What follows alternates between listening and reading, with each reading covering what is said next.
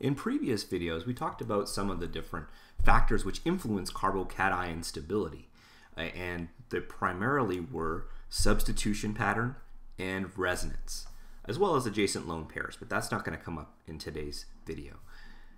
What I've put here is a relative ranking of the different carbocation stabilities, and what we're going to do in this video is apply this relative ranking of carbocation stabilities to answer some fairly simple, straightforward SN1 questions.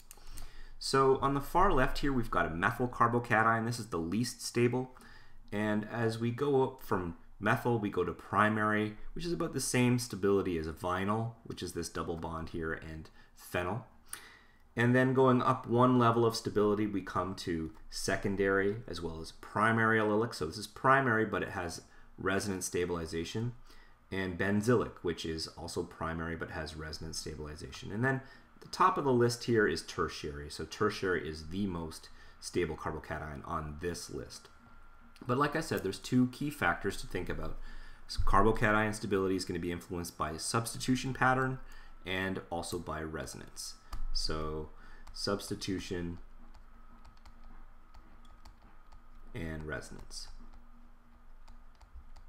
So in this video, I've put together three really quick and fairly straightforward exercises just asking which of these substrates is going to be more reactive in the SN1 reaction. So to think back, what is the key step in the SN1 reaction? What's the big barrier in the SN1 reaction? And then ask yourself which of these are going to be more reactive. So while you're thinking about that, press pause, work on it yourself, and when you're ready, press play.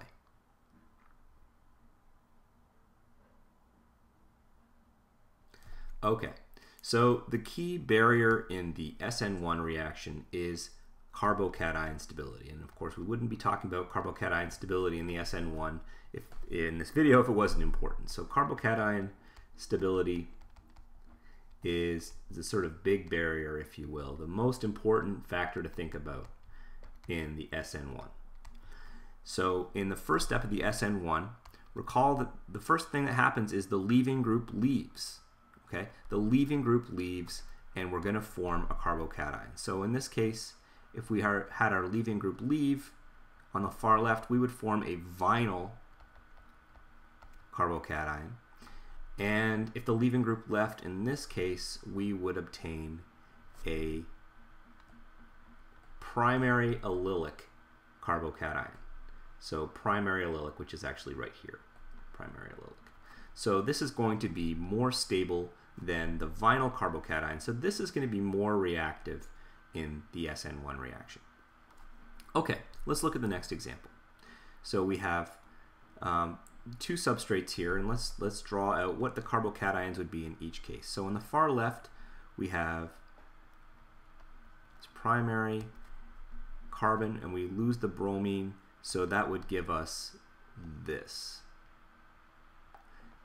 Now, some students might might think the first thing they see is they see that double bond there and might think, oh, okay, well, this is going to be resonance stabilized. But actually, it's not. If you think about what the structure of this molecule is, you have the CH2 in between the double bond. And actually, this double bond can't, can't access this carbocation here to stabilize it. So this is actually just a primary carbocation. And if we lose the bromide ion here, we obtain this species, which is a secondary carbocation. So secondary is more stable than primary on our list, so this is going to be more stable. Okay, let's look at this last example. So we're going to lose our iodide in this example, and this is going to give us this H and also positive charge. So this is a secondary carbocation, and it's also next to a benzyl group or phenyl group, my, my mistake, phenyl, and it's going to be therefore resonance stabilized.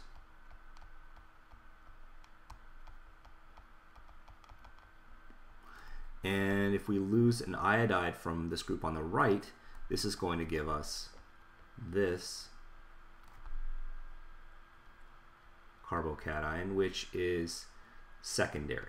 So this is secondary resonance stabilized, and secondary. Now I don't have secondary resonance stabilized on the list. I don't have secondary allylic or secondary benzylic, but knowing the two key factors which influence carbocation stability, substitution and resonance, we can apply our knowledge of, of this to say that, okay, they're both secondary, but this one is resonance stabilized, so this one is going to be more reactive in the, the SN1 reaction. So those two factors which exist to help stabilize carbocations, substitution and resonance, this video is just about how to apply those factors and thinking about which substrates are going to be more reactive in the SN1 reaction. So if you understand carbocation stability, then you're going to have a really good idea of how to apply uh, those factors to understand which substrates are going to be more reactive in the SN1 reaction.